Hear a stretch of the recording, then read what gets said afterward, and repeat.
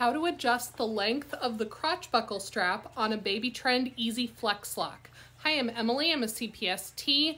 These instructions can be found on pages 31 and 32 of the EZ Flex-Loc's Owner's Manual.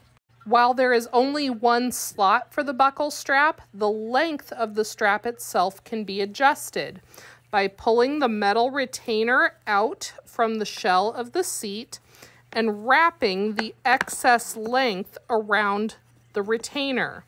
Then push that retainer back down into those slots and pull up on the crotch buckle to see the shortened length.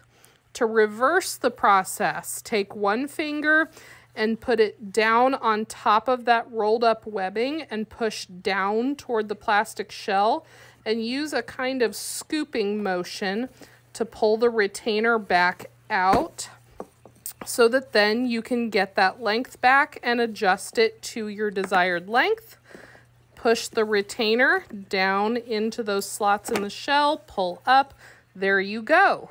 Adjust the length of the crotch buckle until the ears of the crotch buckle sit one half to one inch above the child's thigh. This is the ear of the crotch buckle right here.